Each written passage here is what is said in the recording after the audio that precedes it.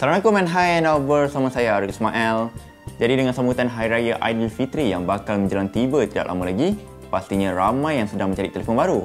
Dan kami di sini ingin menyeraikan berapa telefon terbaik yang anda boleh dapati untuk raya ini. Jadi seperti video-video sebelum ini, kami akan mengelaskan berapa kategori supaya lebih mudah untuk anda dan kami sendiri untuk menilai telefon terbaik ini. Untuk syarat dan kriteria pemilihan peranti terbaik pula, kami telah menetapkan beberapa perkara dalam pemilihan telefon terbaik ini. Jadi tanpa membuang masa lagi, ini dia senarai telefon terbaik Raya 2019 mampu milik yang anda boleh dapati untuk tahun ini. Untuk telefon di bawah RM500, terdapat 6 telefon yang boleh dibeli iaitu Realme C2, Redmi 7, Vivo Y91C, Samsung Galaxy A10, Samsung Galaxy M10 dan Mizu M8.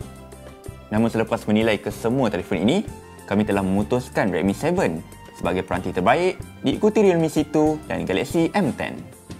Kami menyukai Redmi 7 kerana ia hadir dengan rekaan yang paling menawan, menawarkan chip yang pantas, mempunyai bateri berkapasiti besar dan membawakan kumpulan kamera terbaik untuk harganya. Kami memilih Realme C2 kerana ia turut mempunyai rekaan yang menarik, chip 12nm yang efisien dan mempunyai kapasiti bateri 4000 mAh.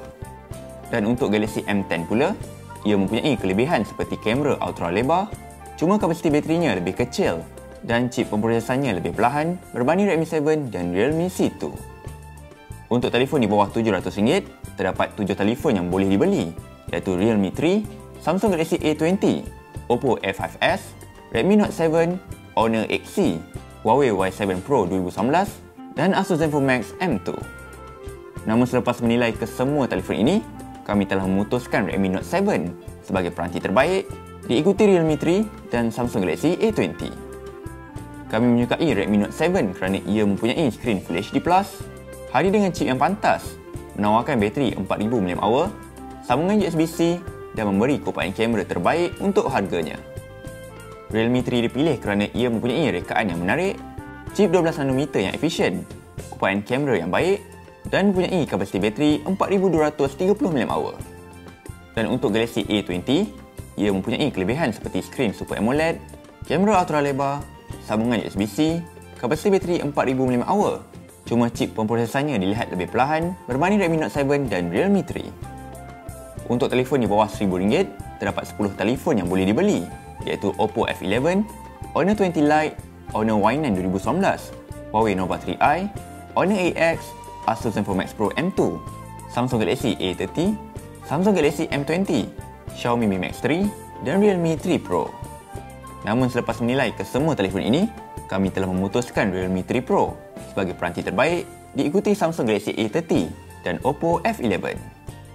Kami menyukai Realme 3 Pro kerana ia mempunyai chip Snapdragon 710 yang pantas, kumpulan kamera yang baik, kapasiti bateri 4045 mAh dan menyokong penyiasat pantas VOOC 3.0. Samsung Galaxy A30 dipilih kerana ia mempunyai skrin Super AMOLED, sokongan kamera ultra lebar, sambungan USB-C, kapasiti bateri 4000 mAh dan mempunyai pengecasan pantas 15W. Dan untuk Oppo F11, ia disenaraikan kerana ia mempunyai skrin sebesar 6.53 inci, dizaini dengan chip 12nm Helio P70, kumpulan kamera 48MP, kapasiti bateri 4020 mAh dan menyokong penjasa pantas VOOC 3.0. Untuk telefon di bawah RM1,500, terdapat 6 telefon yang boleh dibeli iaitu Huawei Y Max, Xiaomi Mi 9 SE, Huawei Nova 4e, Samsung Galaxy A50, Oppo F11 Pro dan Vivo V15. Namun selepas menilai kesemua telefon ini, kami telah memutuskan Samsung Galaxy A50 sebagai peranti terbaik diikuti Xiaomi Mi 9 SE dan Oppo F11 Pro. Kami menyukai Samsung Galaxy A50 kerana ia mempunyai skrin Super AMOLED, sokongan kamera ultra lebar, sambungan USB-C, kapasiti bateri 4000 mAh dan mempunyai pengecasan pantas 15W.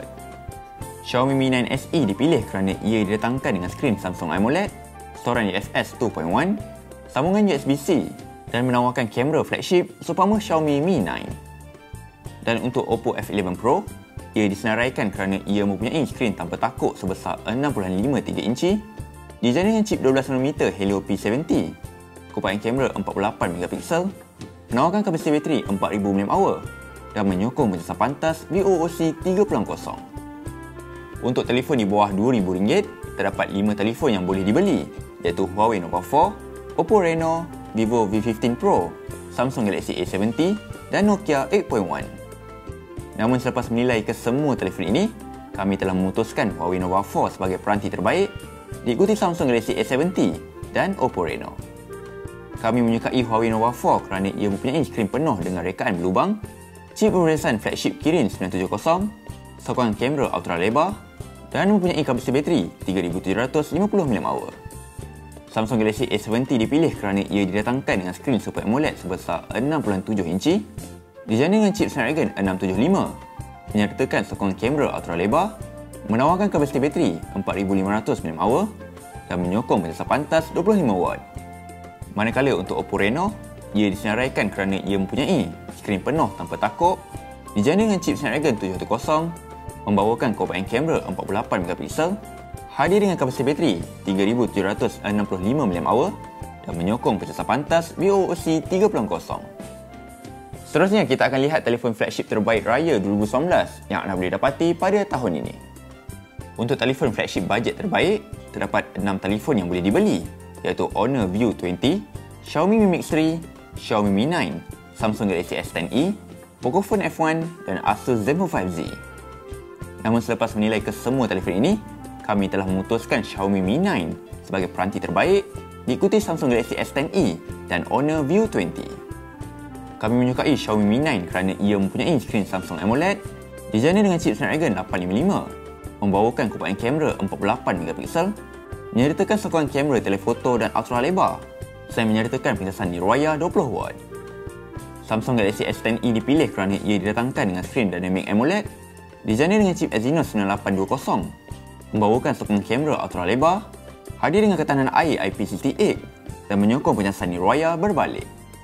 Manakala untuk Honor View 20, ia disenaraikan kerana ia didatangkan dengan skrin penuh lubang, chip Kirin 980, kamera utama 48MP, kapasiti bateri 4000 mAh dan menyokong pencasan pantas 22.5W.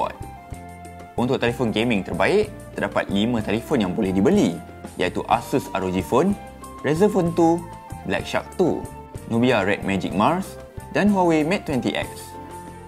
Namun selepas menilai kesemua telefon ini, kami telah memutuskan Black Shark 2 sebagai peranti gaming terbaik diikuti Asus ROG Phone dan Razer Phone 2. Kami menyukai Black Shark 2 kerana skrin AMOLED-nya mempunyai touch response rate 240Hz dijana dengan chip Snapdragon 855, sistem penunjukan cecair, sokongan haptic feedback yang baik dan menyokong penyiasat pantas 27W.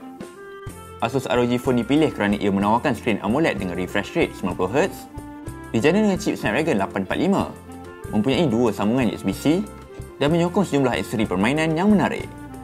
Manakala untuk Razer Phone 2, ia disenaraikan kerana ia didatangkan dengan skrin 120Hz, dijana dengan chip Snapdragon 845, mempunyai ketahanan air IP67 dan mempunyai pembesar suara Dolby Atmos.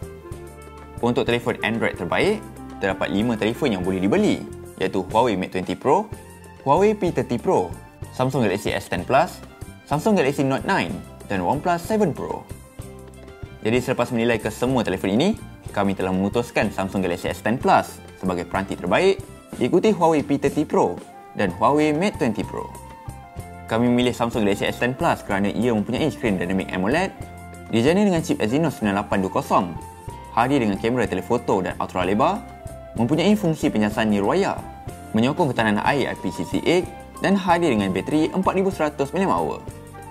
Huawei P30 Pro dipilih kerana ia menawarkan skrin OLED Dijana dengan chip Kirin 980, mempunyai sokongan zoom 50 kali, mempunyai fungsi penyiasan wayar, menyokong ketahanan air IP68 dan hadir dengan bateri 4200 mAh. Manakala untuk Huawei Mate 20 Pro, ia menawarkan penawaran seumpama Huawei P30 Pro, cuma ia berbeza dari segi rekaan dan penawaran kamera. Bagi memudahkan pengguna memilih peranti mengikut platform kesiasaan mereka, kami juga ingin menyeraikan telefon iOS terbaik namun sedikit sukar kerana model iPhone terbaru mempunyai jarak harga yang berbeza. Jadi dengan ini, kami menyeraikan kepada anda senarai iPhone yang sesuai dibeli pada tahun 2019 bagi memenuhi kegunaan jangka masa lama anda.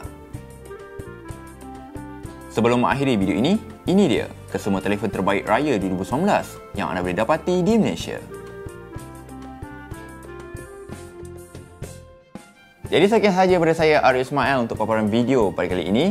Jadi bagi anda yang mempunyai sebarang cadangan ataupun sebarang soalan, anda boleh kemukakan kepada kami melalui ruang komen di bawah ini. Sehingga kita berjumpa lagi di lain hari dan lain waktu. Selamat menyambut Hari Raya Aidilfitri 2019.